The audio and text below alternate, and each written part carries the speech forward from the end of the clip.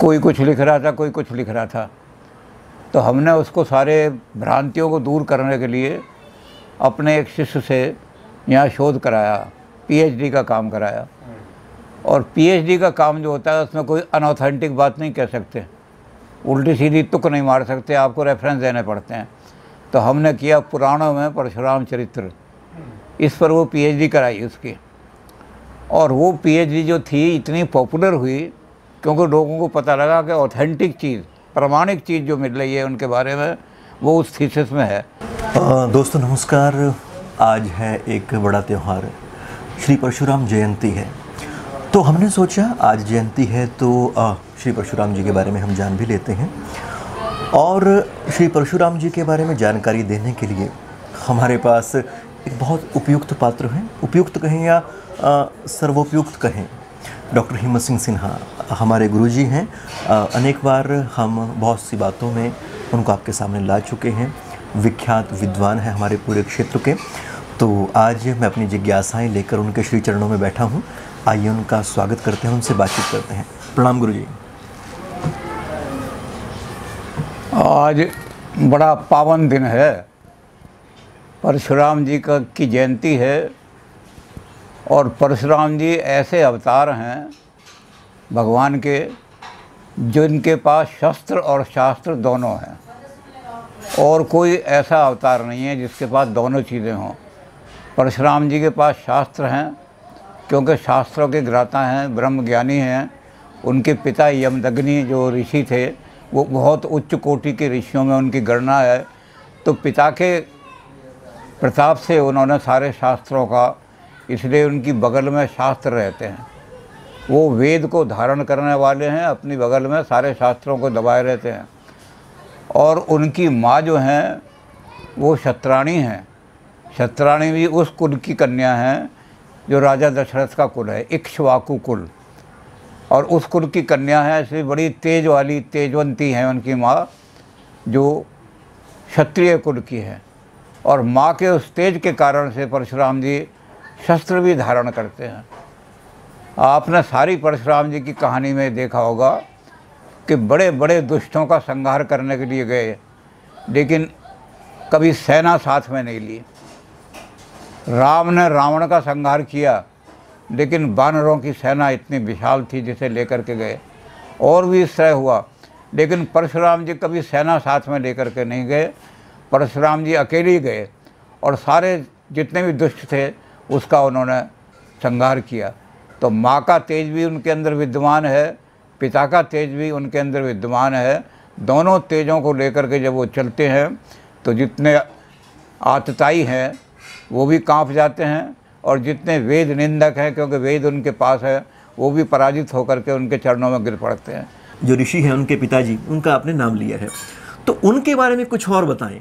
उनके पिताजी के बारे में? उनके पिताजी जमदग्नि तो बहुत बड़े ऋषि थे जी। और ऋषियों में उनकी बहुत ऊँची गणना होती है। उनके सामने सारे वो यहीं तपस्या करते थे। यहाँ जामनी नाम का एक गाँव है पास में वो जमदग्नि का हेडक्वार्टर था और जमना जमदग्नि ऋषि जो थे उनको इतनी साधना और सिद्धि थी कि एक गाय उनके पास थी उस गाय से ही वो इतना दूध प्राप्त कर लेते थे अपनी साधना के द्वारा से द्वारा कि अगर सौ मेहमान भी उनके आ जाए तो उसी गाय से वो कहते थे कि मेरी इज़्ज़त का सवाल है। तो अपनी साधना की शक्ति से वो गऊ इतना दूध देती थी कि सौ आदमियों को भी पूरा कर देते थे। तो इसका अर्थ तो ये हुआ कि श्री परशुराम जी यहाँ पे हमारे स्थानीय ही रहे हैं कभी ना हाँ कभी। हाँ। जी जी। परशुराम जी का अवतार ये उसी श्रृंखला में है जो अवतारों की श्रृंखला मानी जाती है। जी। वेद में अवतारों का वर्णन नहीं है। हम्म हम्म। लेकिन वेद में विष्णु का वर्णन है। जी। वहाँ विष्णु को इस रूप में देखा गया है कि जो बारह आदित्य हैं हम्म हम्म। हमारे जो बारह महीने हैं जी। उसमें सूर्य का अलग अलग नाम होता है। ओम मित्राय नमः सूर्य इस तरह अलग अलग नाम है। तो जो बारह महीने में सूर्य का अलग अलग नाम भी होता है और अलग अलग रूप भी होता है उसका। जैसे जेठ का जो सूर्य है, वो प्रिय नहीं माना जाता। जेठ के सूर्य से तो बचने की कोशिश करते हैं लोग। और उसके, उसको छोड़ करके जब पौष का, पूस का महीना आता है तो पूस के महीने में सूर्य जो है, वो दिन भी छोटे हो जाते हैं और सूर्य का रूप भी बड़ा प्रिय हो जाता है। तो सबसे प्रिय रूप जो है आदित्य का, बारह आदित्यों में जो सबसे प्रिय रूप है, वो विष्णु है। बारह सूर्य के नाम हैं, उसमें विष्णु सबसे छोटे हैं, लेकिन सबसे प्रिय हैं विष्णु। तो जब ये विष्णु सबसे छोटे थे, इन्होंने विष्णु ने ये देखा कि राक्षस आते हैं और देवताओं का सारा माल भार लूट कर ले जाते हैं। कारण क्या है कि यूनिवर्सिटी का एक बहुत बड़ा मान लो प्रोफेसर है वो विद्या के लिहाज से तो बहुत बड़ा होगा। लेकिन कोई गु, अगर गुंडा आ जाए और उसके दो मुक्के मारे तो वो उससे लड़ नहीं सकता। तो ये दुष्ट जो थे सारे राक्षस ये शारीरिक दृष्टि से बड़े बलवान थे। तो ये आते थे देवताओं का जो कुछ माल धन होता था उसको लूट लाट के ले जाते थे। स्त्रियों का भी हरण करके ले जाते थे। तो विष्णु जो सबसे छोटे थे ये देखते रहे कि ये लोग जो हैं आते हैं तो विष्णु ने कहा कि नहीं, अब ये नहीं होगा, मैं तपस्या करूँगा और मैं जो है इनका नाश करूँगा। तो विष्णु खड़े हुए और जो सूर्य का चक्र था, उसको उन्होंने चक्र बना के अपने धारण किया और उन्होंने कहा कि ये हमारा जो कमंडल है, अस्मिन देही अस्माकम जो हमारा है, वो इसके अंदर डाल दो। जो तुम्हारा बनता है, तुम ले जाओ, लेकिन जो हमारा है, उसको तुम नहीं ले जा सकते। अब राक्षसों को ये लगा कि आज तक तो किसी ने हमें चुनौती दी नहीं थी। पहली बार एक चुनौती देने वाला खड़ा हो गया तो राक्षसों को बड़ा मतलब धक्का सा लगा। लेकिन राक्षस मानने वाले तो थे नहीं। उन्होंने कहा कि तू कहाँ से आ गया? सबसे छोटा है, तू हमसे लड़ने आ गया। विष्णु ने अपना चक्र उठाया और चलाना शुरू किया। राक्षस जो थे वो सारे भाग गए और जो देवताओं का भाग था वो देवताओं को मिल गया, यज्ञ में मिलने लगा। जितने ऋषि थे, वैदिक ऋषि जो थे बड़े बड़े उन्होंने क्या काम किया कि विष्णु के इस रूप को देख करके, क्योंकि वे विष्णु वैदिक देवता हैं, विष्णु के इस रूप को देख करके उन ऋषियों ने उनको कहा कि जब जब हो धर्म की हानि तुमने धर्म की रक्षा की है विष्णु तो जब भी पृथ्वी पर धर्म की हानि होगी बाढ़ें असुर अधम अभिमानी। इस पृथ्वी पर अधम लोग जो हैं, जो धर्म का त्याग करने वाले हैं, वो लोग बढ़ जाएँगे, ज़्यादा हो जाएँगे, अभिमानी होंगे। और वो क्या करेंगे? उनकी पहचान क्या होगी? करें अनीति, जाए नहीं वर्णी। वो इतनी अनीति करेंगे, इतना दुराचार करेंगे, इतने गलत काम करेंगे कि उनका वर्णन करना भी मुश्किल हो जाएगा। और उनमें चार चीज़ें जो हैं, बड़ी प्रमुख करेंगे वो। सीधे ही विप्र धैनु सुर धरनी चार चीज़ों का शोषण करेंगे वो। ये राक्षस की पहचान है, दुष्ट की पहचान है कि वो चार चीज़ों का शोषण करता है। पहला शोषण करता है, सीधे ही विप्र। जो विद्वान लोग हैं, पहले उनको पकड़ता है। मेरी प्रशंसा में कुछ लिखो। मैं गलत काम भी कर रहा हूँ तो उसके बारे में भी कुछ ऐसी चीज़ लिखो कि मेरी प्रशंसा हो जाए। और ये विद्वान लोग हैं ये बेचारे झगड़ा उगड़ा कर नहीं सकते ये उनकी प्रशंसा लिखनी शुरू कर देते हैं। मुगलों मुगलों ने अपनी प्रशंसा लिखवाई। दिल्ली शरोवा उन्होंने कहा दिल्ली का वो, वो जगत का स्वामी है जो दिल्ली का स्वामी है। तो सीधे ही विश्व पहले विप्रों का शोषण करते हैं सबसे पहला काम। जितना इंटेलेक्चुअल क्लास है उस सबको शोषण करते हैं। सीधे विप्र फिर धैनु। एनिमल किंगडम जो है, वो सारी ख़त्म होती चली जाती है। पृथ्वी से जब एनिमल किंगडम ख़त्म हो जाएगी तो कहाँ तो खेती के लिए बैल आएँगे, कहाँ से तुम्हारे पास और काम करने वाले आएँगे, और एनिमल किंगडम ख़त्म हो जाएगी तो सारा बैलेंस ही बिगड़ जाएगा। इकोलॉजिकल बैलेंस सारा बिगड़ जाएगा। तो ये उस एनिमल वेल्थ को भी डिस्ट्रॉय करते हैं। सीधे ही विप्र धैनु। धैनु का मतलब गाय नहीं है। धैनु का मतलब एनिमल किंगडम सारी एनिमल किंगडम तो सारी एनिमल किंगडम का भी शोषण करते हैं। तो गुरु जी इस तरह से एक जो अवतारवाद के शाश्वत जो कारण रहे हैं उन्हीं कारणों के तहत भगवान श्री परशुराम जी का भी अवतार हुआ। हाँ। अच्छा एक तो आ, श्री परशुराम जी को हम जानते हैं कि वो शस्त्र के आ, उनके पास रहते हैं शास्त्र उनके पास हाँ। है। हाँ। पर ज़्यादा चर्चा उनकी शस्त्र की ज़्यादा है, शास्त्र की कम है। तो पहले तो आप ये बताएँ कि शस्त्र के हिसाब से जो हम कहते हैं कि उन्होंने क्षत्रियों का वध किया था तो वो कौन सा क्षेत्र था और कौन से क्षत्रिय थे वो जिनका वध हुआ था? तो वो प्लीज़ बताएँ। एक नर्मदा के किनारे एक ऐसे राजा थे जिन, जिसको हम सहस्त्रार्थ कहते हैं। सौ उसकी बहुत भुजाएँ थीं। और सहस्त्रार्जुन यानी हज़ार उसकी भुजाएँ थीं। हाँ। हज़ार भुजाओं का मतलब ये कि वो हज़ार तरह से लोगों को मारता था।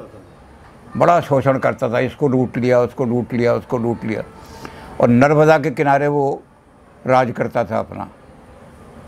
हिंदुस्तान के अंदर आर्यों के अलावा अनार्य लोग भी थे। वो नागवंशी कहलाते थे। पाँच जातियाँ थीं नागों की।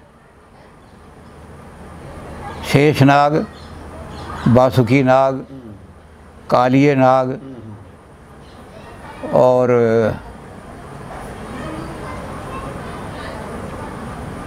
ये कौन से थे कश्मीर वाले? मतलब पाँच नागों की बड़ी बड़ी जातियाँ थीं। इन नाग जातियों की जो कन्याएँ थीं, बड़ी सुंदर होती थीं। तो वो क्या करता था? नाग जातियों की कन्याओं को उठवा लेता था, अपने हरम में डलवा दिया। नागों को मरवा देता था, बिल्कुल काट काट दो इनको, लिया पकड़ करके, लूट लाओ सारा। तो लोग जब चीखने लगे तो परशुराम जी की माँ को उन्होंने, परशुराम जी गए हुए थे कहीं तो उनकी माँ जो थी, उन्होंने कहा कि तुम्हारा जो सारा शोषण कर रहा है राजा, क्षत्रिय का काम क्या है? प्रजा की रक्षा करना। और ये शोषण कर रहा है। तो कहते मैं अपने पुत्र का आह्वान करती हूँ कि वो यहाँ आए और आकर के पहले नागों की रक्षा करे। तो उसने आह्वान किया अपने पुत्र का, कहते, बेटे, तुम कहाँ घूम रहे हो? तुम्हारा अवतार ही इसलिए हुआ है कि अधर्मियों का नाश करने के लिए। तो जैसा पुराणों के वर्णन यह है कि सारे समुद्र में नर्मदा में तूफ़ान आया और सारी जहाज़, कश्तियाँ वस्तियाँ सारी डोलने लगीं लोगों ने कहा सारी जनता ने कहा कि अब परशुराम आ रहे हैं अब इसका नाश होने वाला है। खुश हो गई जनता इतनी वहाँ। तो परशुराम जी की शक्ति से तो डरते थे तो उसने नागों की रक्षा की जा करके वहाँ। ये जो जगह हैं जो नागपुर है नागदेह है ये नागों के वंश सारे यहाँ राजा थे। तो इसका मतलब गुरुजी एक चीज़ तो आ, इसमें कम से कम हमें साफ़ होती है। आमतौर पे हम ये मानते थे कि नाग का मतलब कोई सांप है। तो ऐसा नहीं है वो आदमियों की एक जाति हुआ करती थी। जाति थी। जी। और बड़ी बलवान जाति थी। जी जी जी जी और तो तो क्या गुरुजी जैसा आपने अभी बताया तो परशुराम जी को उनकी शक्ति का एक तरह से एहसास कराया जताया आह्वान किया तो उनकी माता वो कारण बनी। हाँ उनकी माँ जो थी उन्होंने तो उनका नाम रखा था राम। अच्छा जी। परशुराम जी का नाम राम था।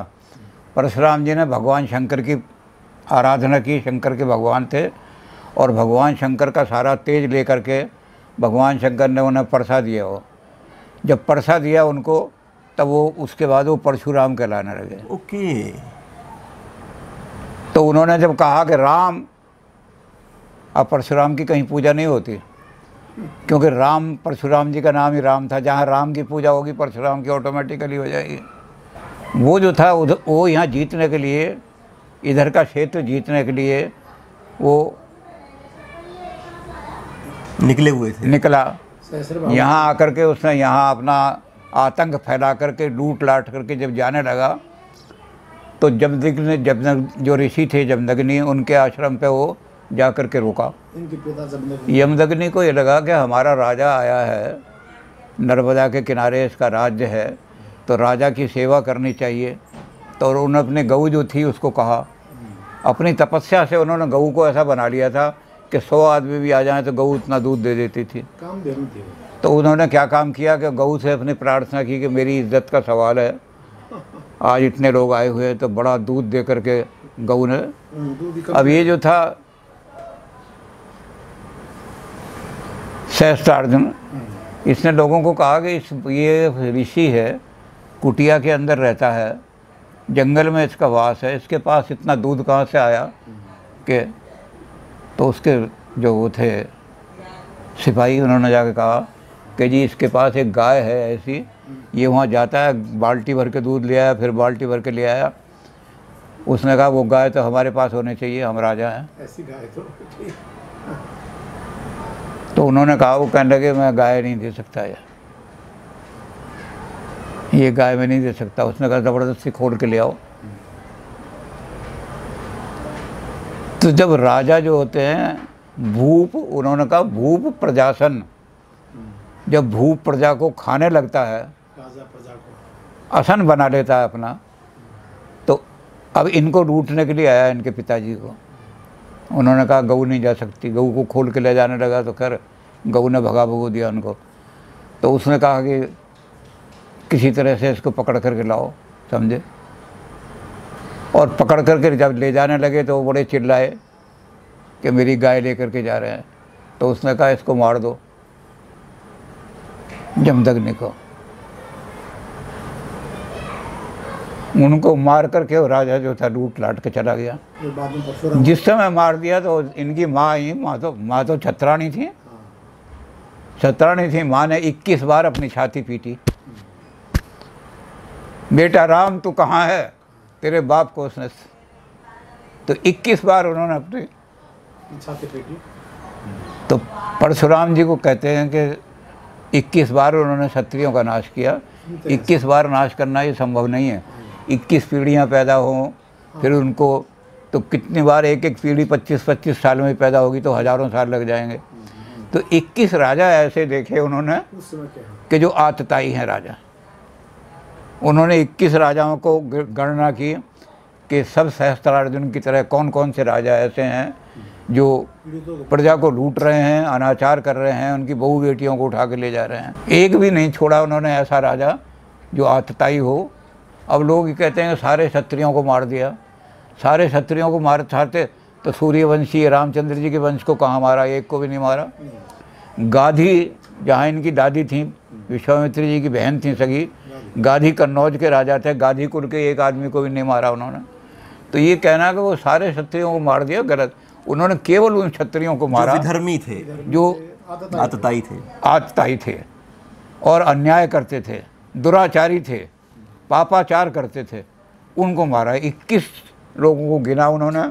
अपनी माँ को गिनाया कि यही राजा नहीं बल्कि जो भी ऐसा काम कर रहे हैं, मैं सबका नाश कर दूँगा। परशुराम जी ने सबसे बड़ा काम क्या किया? भुजबल भूमि भूप बिन कीनी। ऐसे राजा जो आचारी थे, उनको जा कर के उनकी पूजा नहीं करवाई, ना उनसे पैसा लिया, बल्कि अपनी भुजाओं के आश्रय पर उन्होंने उनका नाश कर दिया, जो आतताई राजा थे। लेकिन उन राजाओं से जो धन मिला तो परशुराम जी ने कोई आश्रम नहीं बनाया, कहीं आपको परशुराम जी का आश्रम नहीं मिलेगा।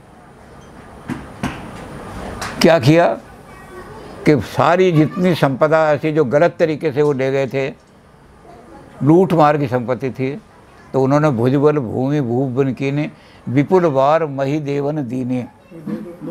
जितनी संपदा लाए थे वो सारी संपदा परशुराम जी ने आज तक एक पैसा अपने पास नहीं रखा, सारी संपदा उन लोगों को बांट दी जो गरीब थे।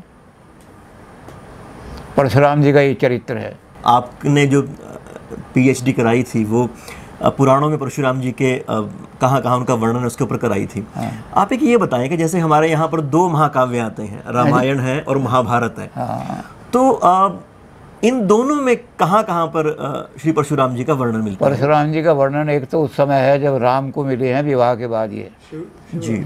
उसमें दो अलग अलग रूप हैं। एक रूप तो यह है कि जहाँ स्वयंवर हो रहा था और सारे राजा आए हुए थे परशुराम जी वहाँ पहुँचे।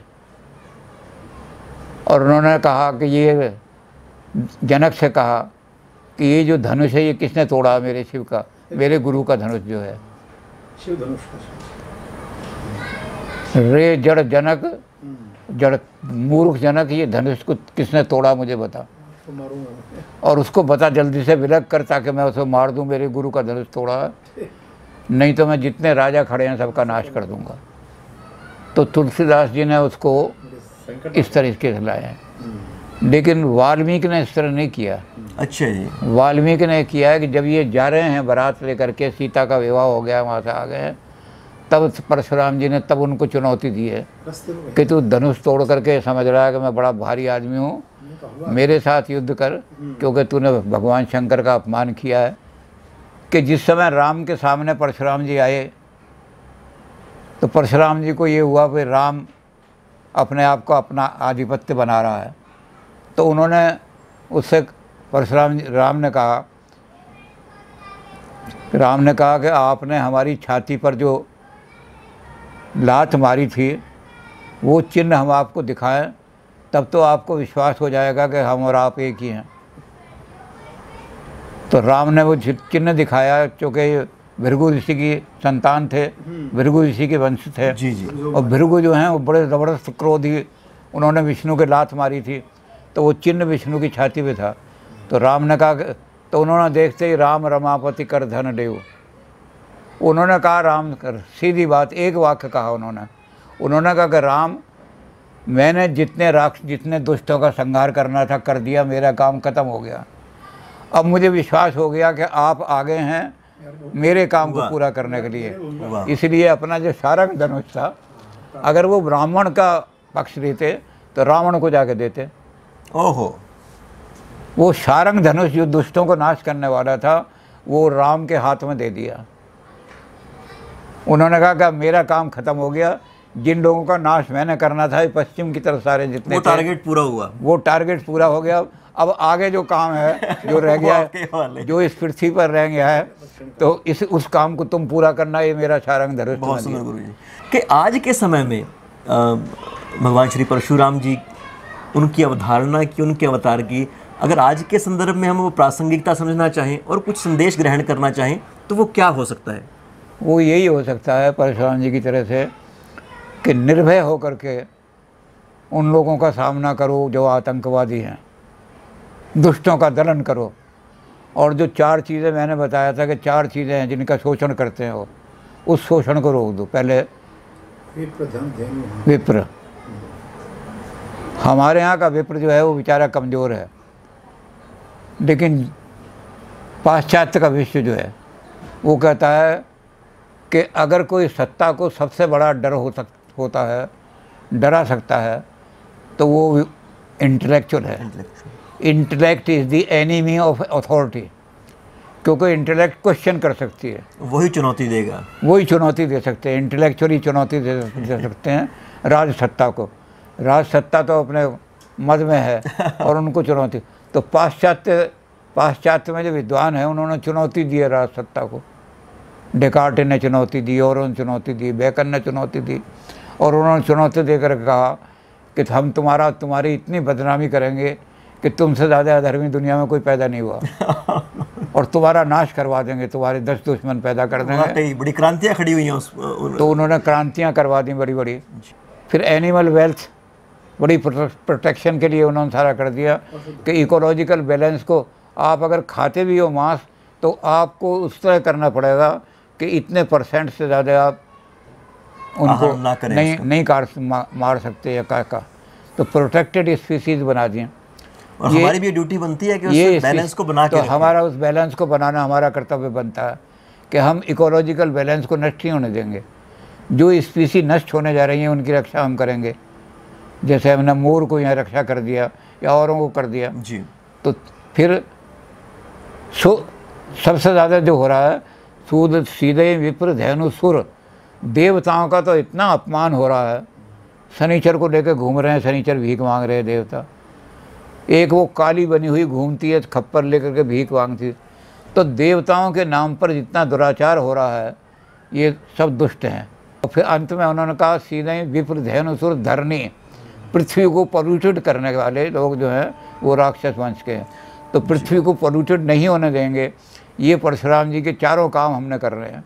और दोस्तों आप सभी बहुत विद्वान हैं और सब चीज़ों के जानकार हैं पर हम इतना कहना चाहेंगे कि हमारे वैदिक साहित्य में और पुराने साहित्य में बहुत सारी चीज़ें संकेत रूप में कही जाती थी। तो वो जो कहा जाता है उसका मतलब सिर्फ़ उतना ही नहीं होता था उससे परे भी कुछ होता था।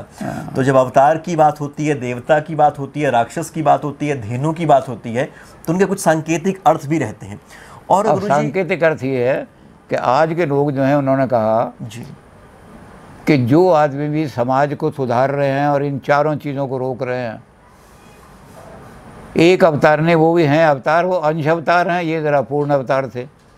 अब आप अगर इन चीज़ों को रोकोगे तो हम कहेंगे कि जिसके अंदर दुराचार को रोकने की शक्ति है और जो विष्णु की तरह चक्र लेकर खड़ा हो सकता है कि मैं दुराचार नहीं होने दूँगा वो विष्णु का अवतार है। वो एक परसेंट है तो हम कहेंगे छोटा अवतार है बड़ा तो अवतार तो आज भी पैदा होने की ज़रूरत है। हम दयानंद को भी आर्य समाजी तो नहीं मानते लेकिन हम तो दयानंद को भी अवतार मानते हैं ना सनातनी तो।